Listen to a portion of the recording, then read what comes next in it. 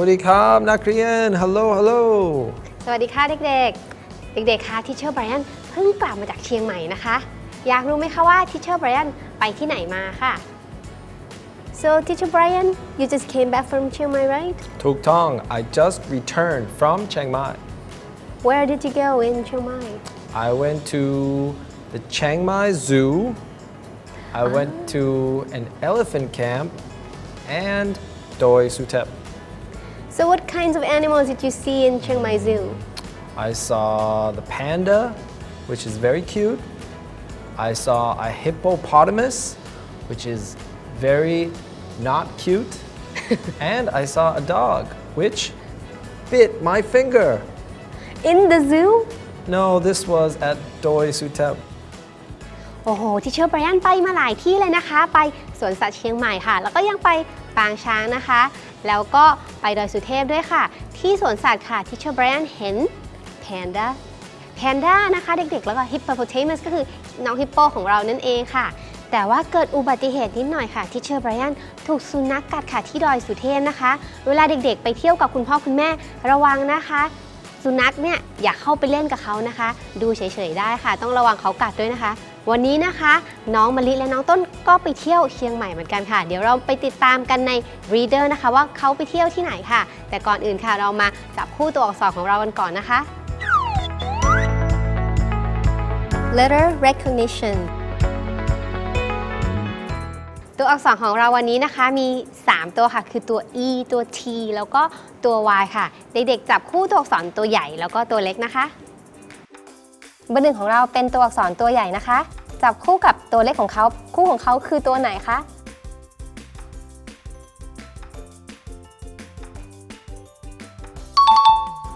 Correct What letter is next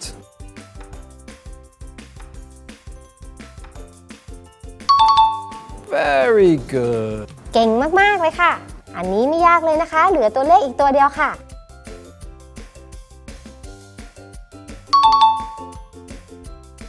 Great job matching the letters letter formation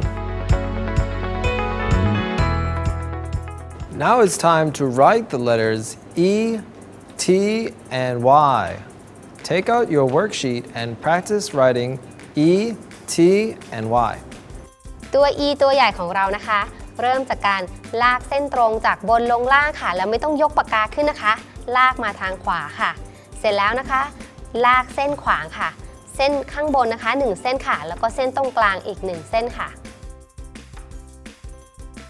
ตัว e ตัวเล็กนะคะ เริ่มที่หัวของตัว e ก่อนค่ะ วาดเป็นวงกลมนะคะ แล้วลากลงมาเป็นโค้งๆค่ะ กลับขึ้นไปนิดนึงค่ะ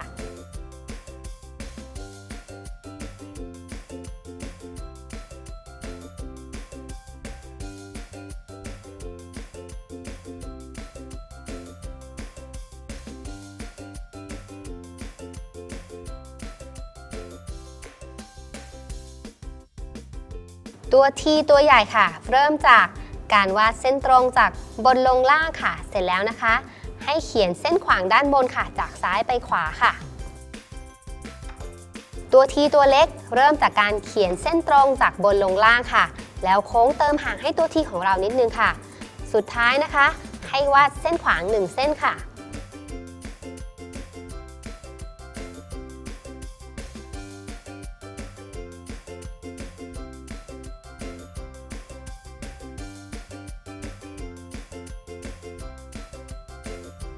ตัว Y ตัวใหญ่ของเรานะคะ เริ่มต้นจากการวาดเส้นทแยงจากมุมซ้ายบนทแยงลงมาประมาณกึ่งกลางบรรทัดค่ะ แล้วลากขึ้นไปทแยงไปที่มุมขวาบนนะคะ สุดท้ายค่ะ ให้วาดเส้นตรงลงมาแบบนี้นะคะ ตัว Y ตัวเล็กของเรา เริ่มจากการวาดเส้นตรงจากบนลงล่าง แล้วโค้งขึ้นไปคล้าย ๆ ตัว U นะคะแล้วไม่ต้องยกปากกาขึ้นนะคะเด็กๆ วาดเส้นตรงต่อลงมาให้เลยบรรทัดล่างแล้วโค้งนิดนึงให้เป็นหางของตัว Y ของเราค่ะ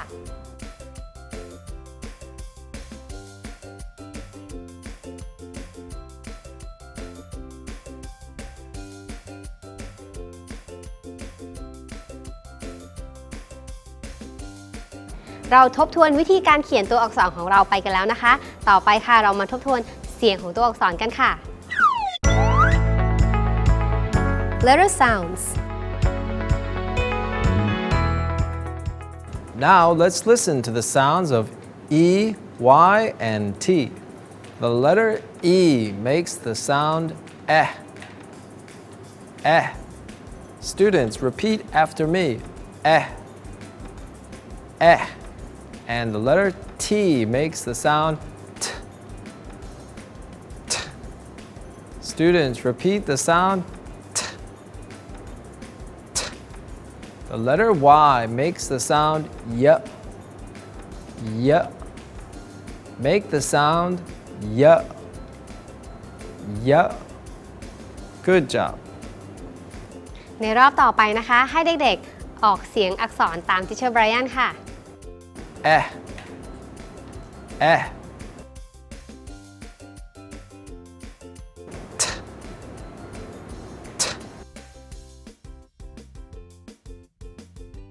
Y. Y. Now let's play a game.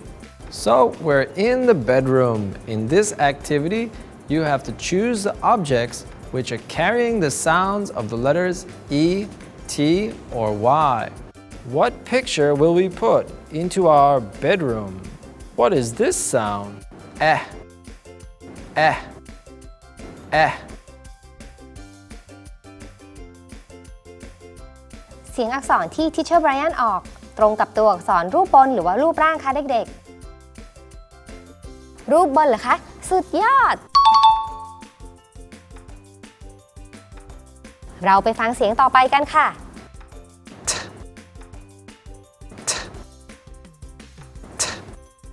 Which picture will you choose?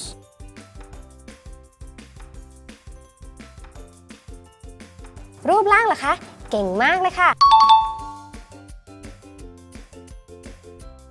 เรามาฟังเสียงสุดท้ายกันค่ะ Yeah.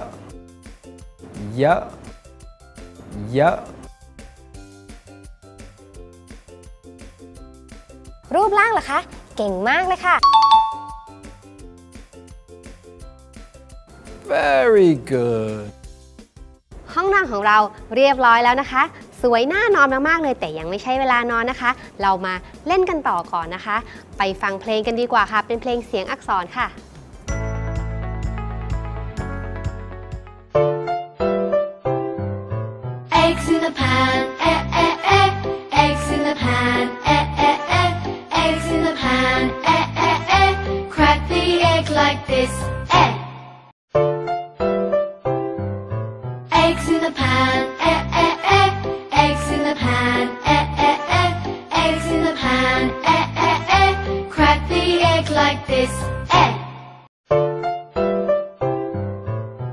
in the pan, eh, eh, eh. Eggs in the pan, eh, eh, eh. Eggs in the pan, eh, eh, eh. Crack the egg like this,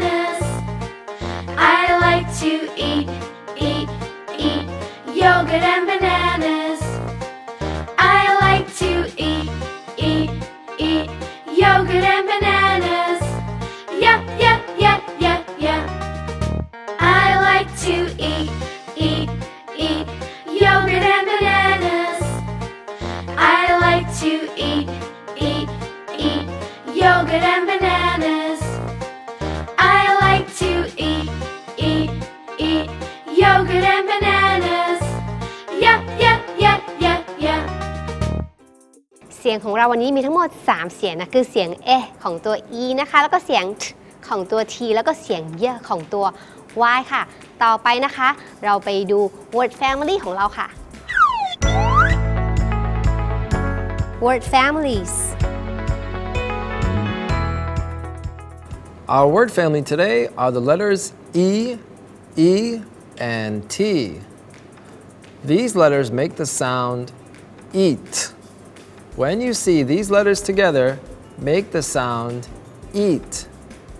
Think of some words which end with eat.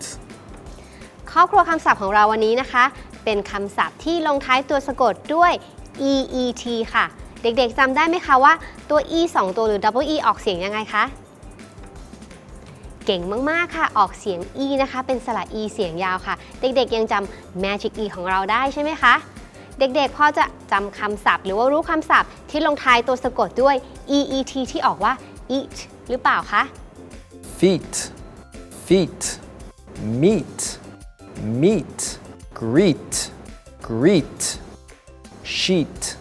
sheet, street, street, sweet, sweet. And our final word was beat, beat. ในเกมเขาวงกตของเราวันนี้นะคะ เด็กๆจะช่วยพาเจ้าพึ่งน้อยไปหาดอกไม้ของเขาค่ะ ดอกไม้มีน้ำหวานนะคะ ที่เป็นของโปรดของพึ่งเลยค่ะ แล้วในระหว่างทางนะคะ อย่าลืมเก็บสะสมคำศัพท์มาด้วยนะคะ แล้วก็ต้องเป็นคำศัพท์ที่อยู่ในครอบครัวคำศัพท์ของเราในวันนี้นะคะ ดูซิว่าเด็กๆ จะเก็บมาได้กี่คำค่ะ Let's play a game. เรามาช่วยกันพาพึ่งไปหาน้ำหวานที่ดอกไม้กันนะคะ พึ่งของเราเริ่มบินแล้วนะคะเด็กๆ พึ่งของเราจะบินไปข้างบนหรือว่าบินลงมาข้างล่างคะ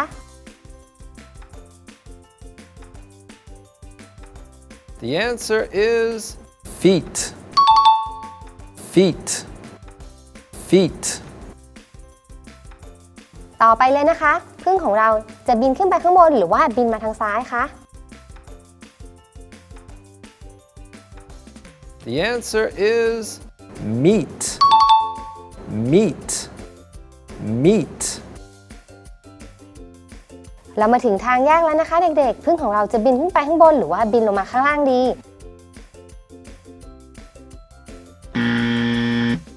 The answer is greet. Greet. Greet. เรามาดูกันต่อไปเลยดีกว่า พึ่งของเราบินเหนื่อยหรือยังคะ เด็กๆ ช่วยพึ่งของเราด้วยนะคะ The answer is sheet. Sheet. Sheet.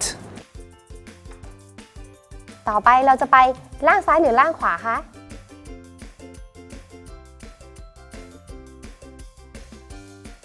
The answer is street.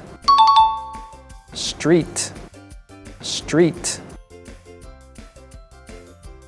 เรามาดูกันต่อไปเลยดีกว่า บินไปทางบนขวา หรือว่าบินลงมาข้างล่างคะ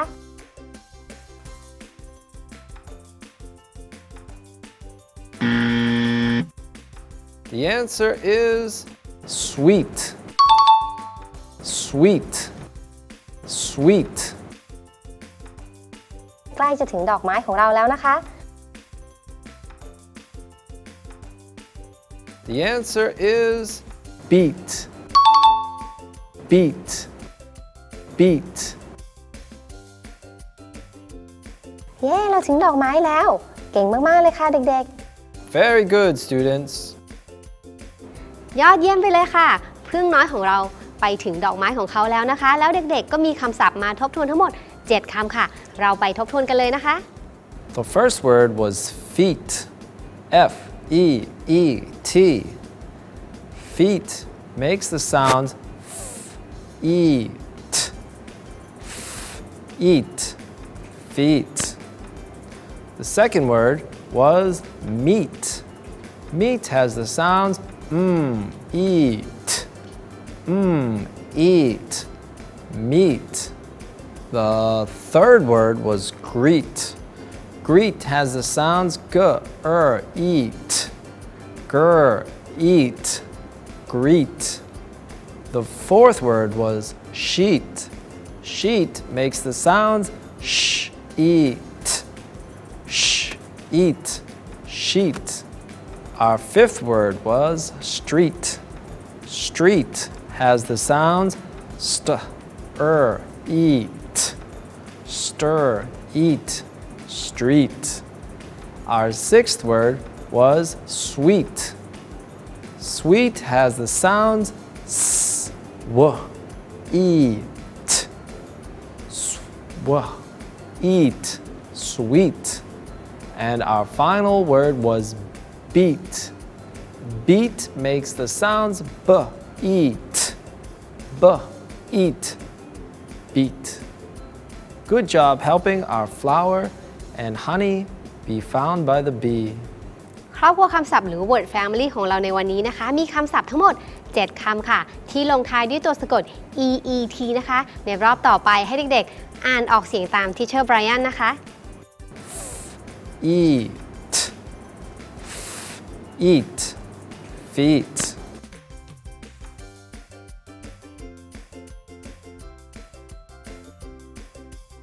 Mmm, eat,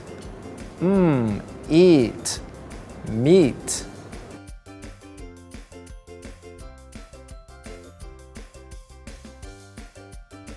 G, er, eat,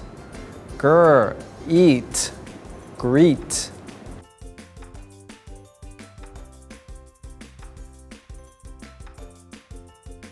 Sh, eat, sh, eat, sheet.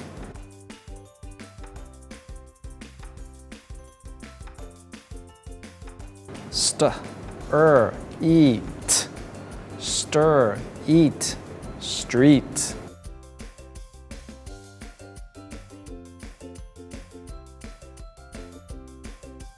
S, w, eat, sw, eat, sweet.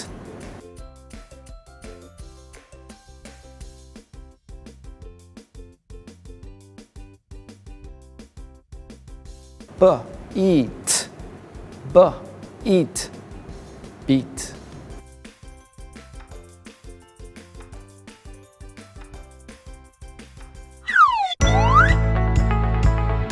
alternative spelling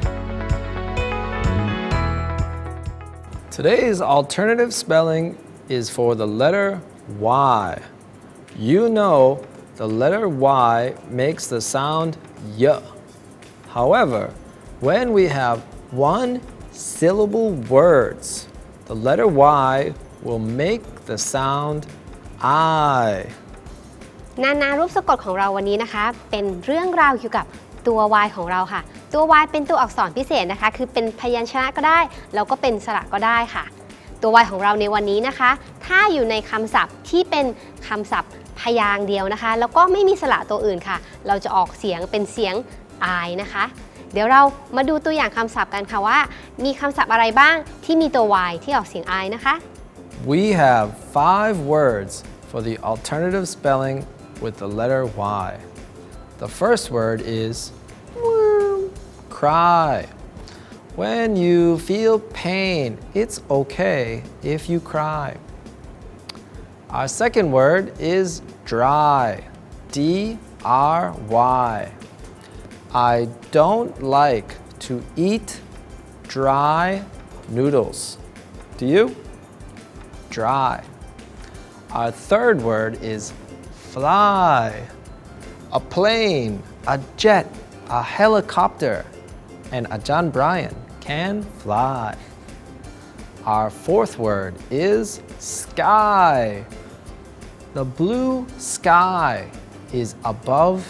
us Sky.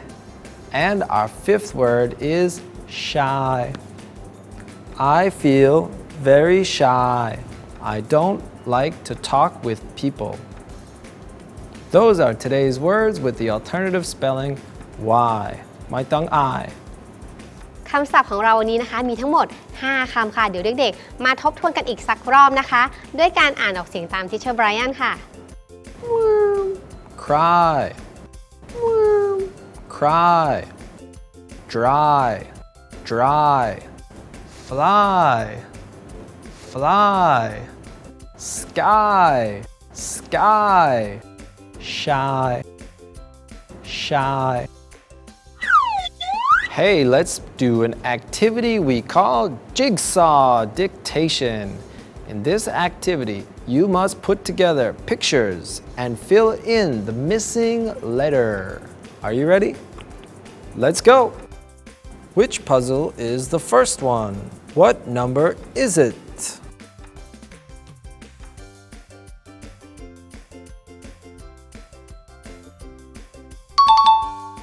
Excellent. What is the next number?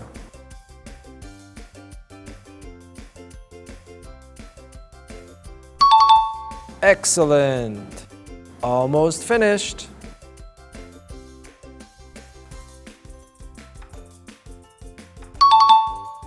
Cry. Cry. Cry. We did it. เด็กๆคิดว่าชิ้นส่วนไหนคือชิ้นแรกคะเลขอะไรเอ่ย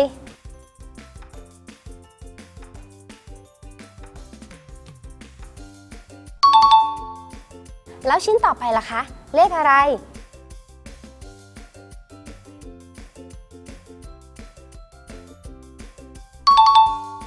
เกือบครบแล้วค่ะ ต่อไปเลือกชิ้นไหนดี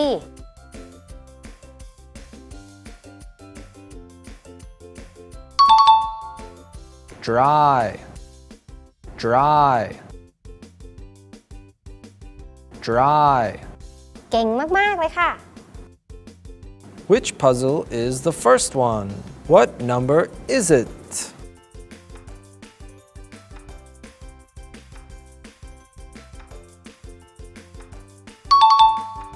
Excellent. What is the next number?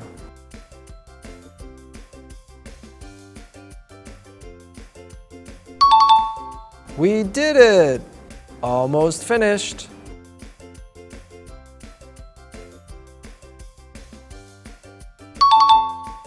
Fly, fly, fly. Very good, students. เด็กๆคิดว่าชิ้นส่วนไหนคือชิ้นแรกคะเลขอะไรเอ่ย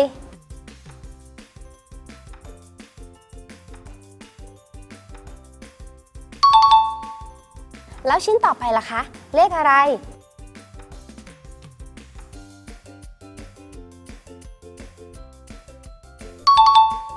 เกือบครบแล้วค่ะ ต่อไปเลือกชิ้นไหนดี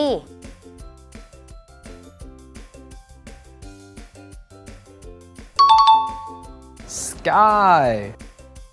sky, sky. เก่งมาก ๆ เลยค่ะ Which puzzle is the first one? What number is it?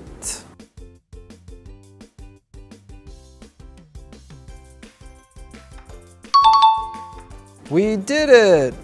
What is the next number?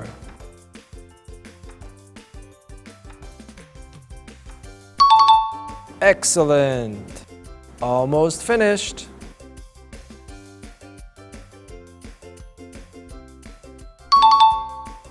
Shy. Shy. Shy. Great job! tricky words Today's tricky words are mouse and house. These words are tricky because the last letter E is silent. When E follows OU, we don't pronounce the letter E. Instead, we say mouse and house. tricky words ของเราวันนี้นะคะ มี 2คำค่ะ คือคำว่า mouse แล้วก็ house นะคะเด็กๆ mouse แล้วก็ house สะกดด้วยสระ ou ที่ออกเสียง out ใช่ไหมคะ แต่ว่าค่ะคำสองคำนี้เป็นคำศัพท์ต้องจำเพราะว่ามีตัว e อยู่ด้วยนะคะ จึงเป็นคำศัพท์ที่เด็กๆ ต้องจำกันค่ะ Let's practice writing those tricky words on a page of our worksheet. เดี๋ยวเราไปหัดเขียน tricky words ของเรากันนะคะเด็กๆ การหัดเขียนบ่อยๆ จะทำให้เราจำคำศัพท์ได้ง่ายขึ้นค่ะ The tricky word today is house. H O U S E. Write the word house on the dotted lines and practice writing by yourself. วิธีการหัดเขียน tricky word ของเรานะคะ เด็กๆ เริ่มแรกเลยนะคะ ดูตัวอักษรให้ดีนะคะ ดูเสร็จแล้วค่ะ ให้ลองหัดเขียนตัวอักษรตามรอยประค่ะ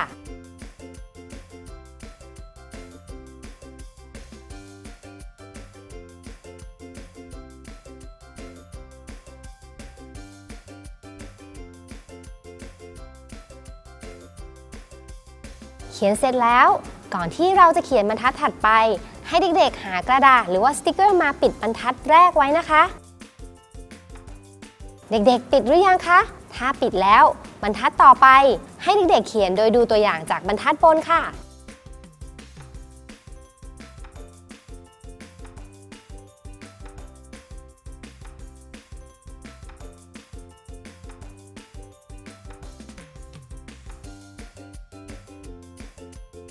เด็กๆจำได้กันหรือยังคะว่าตัวนี้เขียนยังไง ถ้าจำได้แล้วให้เด็กๆ หากระดาษหรือว่าสติกเกอร์มาปิดบรรทัดที่ 2 และบรรทัดที่ 3 เลยค่ะ คราวนี้ลองเขียนอีกทีนะคะ ว่าเราเขียนถูกหรือเปล่าค่ะ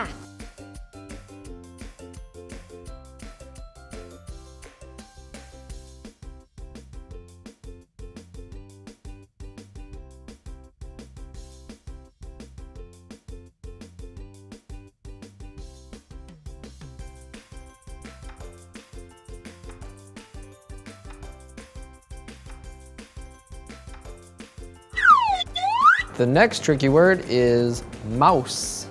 M O U S E. Write the word mouse on the dotted lines and copy on the blank lines below. Mouse. คำศัพท์ต้องจำคำที่ 2 ของเราคือคำว่า mouse นะคะเด็กๆ อย่าลืมนะคะว่า 2คำนี้เป็นคำศัพท์ต้องจำเพราะว่ามีตัว e ตอนท้ายค่ะ เวลาเขียนนะคะ อย่าลืมดูนะคะว่ามีตัวสะกดอะไรบ้างค่ะ วิธีการหัดเขียน tricky word ของเรานะคะ เด็กๆ เริ่มแรกเลยนะคะ ดูตัวอักษรให้ดีนะคะ ดูเสร็จแล้วค่ะ ให้ลองหัดเขียนตัวอักษรตามรอยประค่ะ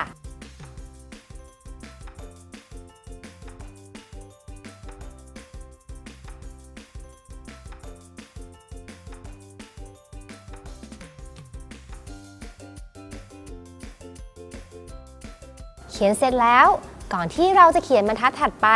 ให้เด็กๆ หากระดาษหรือว่าสติกเกอร์มาปิดบรรทัดแรกไว้นะคะ เด็กๆ ปิดหรือยังคะ ถ้าปิดแล้ว บรรทัดต่อไป ให้เด็กๆเขียนโดยดูตัวอย่างจากบรรทัดบนค่ะ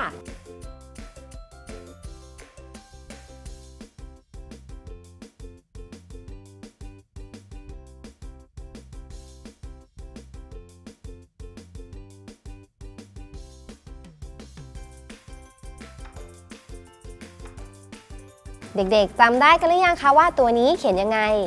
ถ้าจำได้แล้วให้เด็กๆ หากระดาษหรือว่าสติกเกอร์มาปิดบรรทัดที่ 2 และบรรทัดที่ 3 เลยค่ะ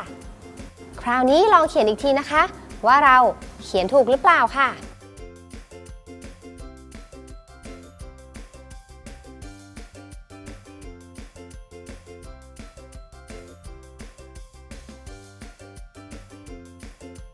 ลองดูสิคะว่าที่เด็กๆเขียนเหมือนของทิชเชอร์ไบรอันหรือเปล่าค่ะ Very good, students. เด็กๆ เขียน tricky words ของวันนี้ได้แล้วใช่ไหมคะ เดี๋ยวเราเอาคำเหล่านี้มาแต่งประโยคกันค่ะ Today's sentence for our tricky words are Mali's house is in Bangkok. Remember, use capital B for Bangkok because it's a proper noun. Our second sentence is A mouse lives in a hole. A mouse lives in a hole. ในรอบต่อไปนะคะ ให้เด็กๆ อ่านออกเสียงตามทิชเชอร์ไบรอันค่ะ ในระหว่างที่อ่านนะคะ อย่าลืมดูรูปประโยคแล้วก็คำศัพท์ในประโยคด้วยนะคะ Mali's house is in Bangkok.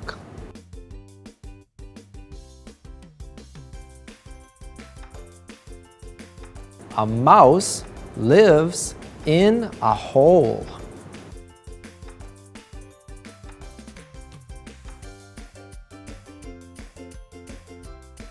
Right now, it's time to fill in missing word from our sentence. Can you remember which word is missing from our two tricky word sentences? Good luck. ในกิจกรรมเติมคำในช่องว่างของเรานะคะ ให้เด็กๆ ฟังให้ดีนะคะว่าคำคำไหนค่ะที่ Teacher Brian ออกเสียงแล้วหายไปในประโยคในเวิร์กชีตของเด็กๆนะคะ พอเราได้ยินแล้วนะคะ เราก็เขียนคำศัพท์คำนั้นลงไปในเวิร์กชีตของเราค่ะ Mali's house is in Bangkok. Mali's house is in Bangkok.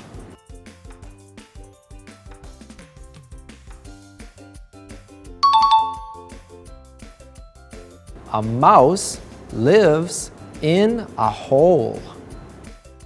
A mouse lives in a hole.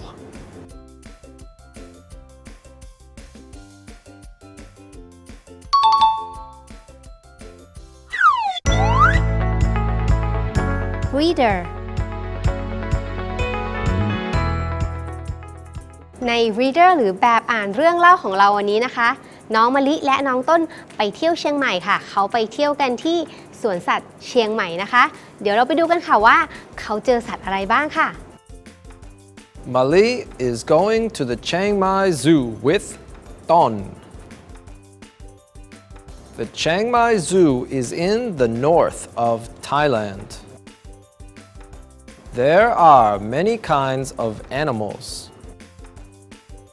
There are elephants, tigers, lions, zebras, giraffes, and pandas. Don likes giraffes. A giraffe has a long neck. Mali likes pandas. A panda is cute. น้องมะลิและน้องต้นของเราเจอสัตว์เยอะแยะเลยนะคะในสวนสัตว์ค่ะ รวมถึงแพนด้าด้วย ในรอบต่อไปค่ะ ให้เด็กๆ ลองมาหัดอ่านแบบอ่านของเรานะคะ อ่านออกเสียงตามทิเชอร์ไบรอันค่ะ ดูประโยคไว้ด้วยนะคะ แล้วก็อ่านออกเสียงดัง ๆ เลยค่ะ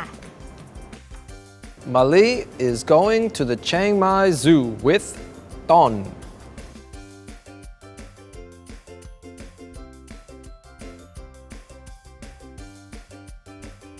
The Chiang Mai Zoo is in the north of Thailand.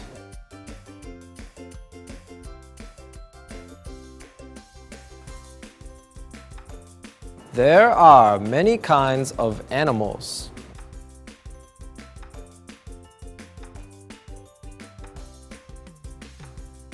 There are elephants, tigers, lions, zebras,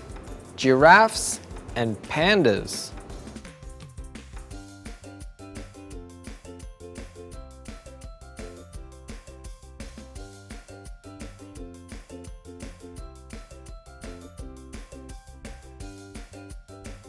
Don likes giraffes.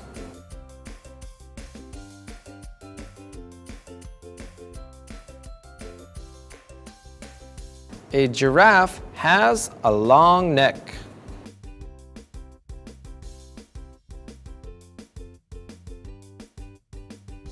Mali likes pandas.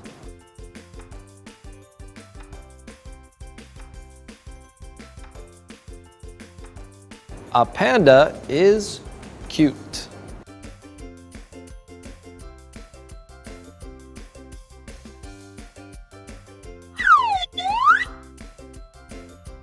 Let's play a game.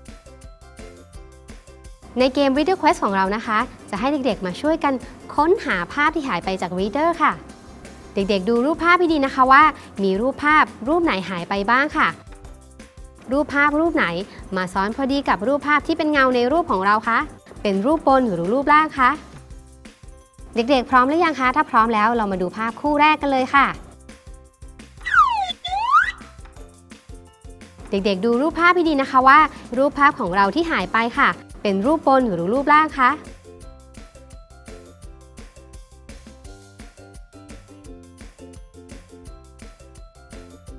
รูปบนใช่ไหมคะ เก่งมากเลยค่ะ เอาละค่ะ เราได้มาแล้วหนึ่งรูป เราไปดูรูปต่อไปกันค่ะ เด็กๆดูให้ดีนะคะ รูปภาพรูปไหน มาซ้อนพอดีกับรูปภาพที่เป็นเงาในรูปของเราคะ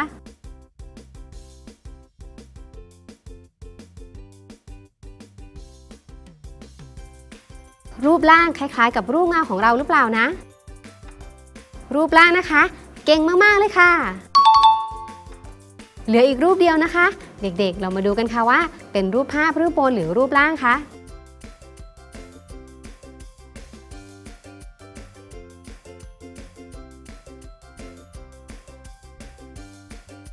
ใช่รูปบนหรือเปล่าคะ ดูดีๆนะคะ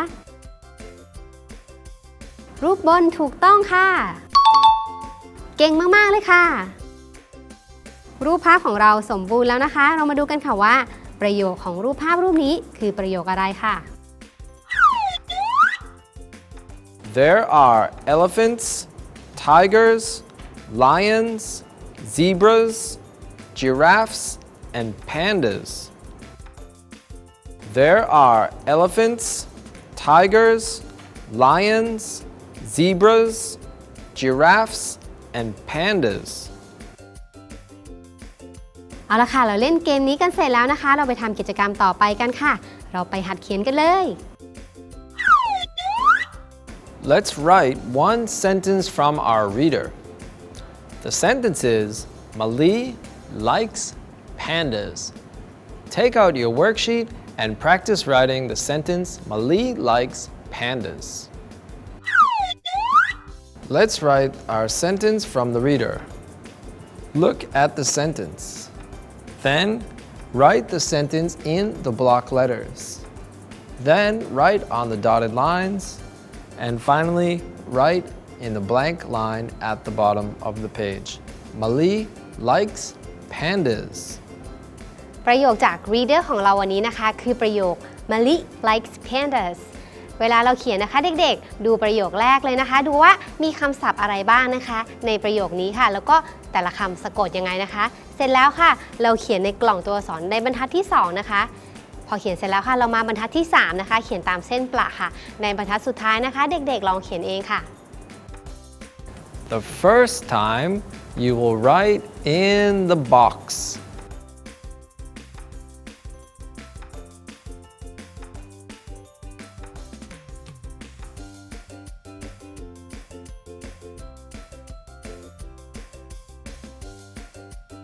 Next, you will write on the dotted line.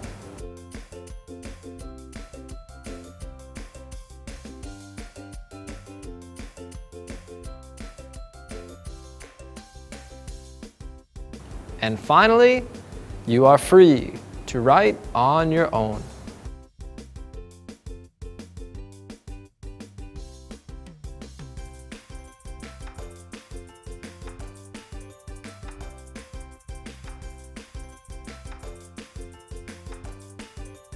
Very good, students. วันนี้นะคะเราได้ทบทวนตัวอักษรไปทั้งหมด 3 ตัวค่ะ คือตัว e ตัว t แล้วก็ตัว y นะคะ เราได้ทบทวนเสียงแล้วก็การเขียนด้วยนะคะ ในช่วงของครอบครัวคำศัพท์ค่ะ เราได้สะสมคำศัพท์ไปทั้งหมด 7คำนะคะ ที่มีตัวสะกดลงท้าย e e t มีเวลาเด็กๆ อย่าลืมพยายามหัดอ่านออกเสียงนะคะ เราหัดกันบ่อยๆ เราก็จะออกเสียงได้ชัดขึ้นค่ะ ในช่วงของ alternative spelling ของเรานะคะ เราได้เรียนรู้เกี่ยวกับตัว y ค่ะว่า ถ้าเกิดเขาเกิดในคำศัพท์ที่เป็นคำหนึ่งพยางค์แล้วไม่มีสระตัวอื่นนะคะ เขาจะออกเสียง i อย่างเช่นคำว่า cry นะคะเด็กๆ แล้วก็สุดท้ายค่ะ tricky words ของเรานะคะ วันนี้คือคำว่า house แล้วก็ mouse ค่ะ มี ou ที่ออกเสียงเอา แต่ว่ามีตัว e ท้ายคำด้วยนะคะ เด็กๆ ต้องจำกันนะคะ แล้วก็หัดเขียนบ่อยๆค่ะ จะจำได้ง่าย ๆ ค่ะ We'll see you next time, and thank you for people from Chiang Mai. I love your city. Bye bye.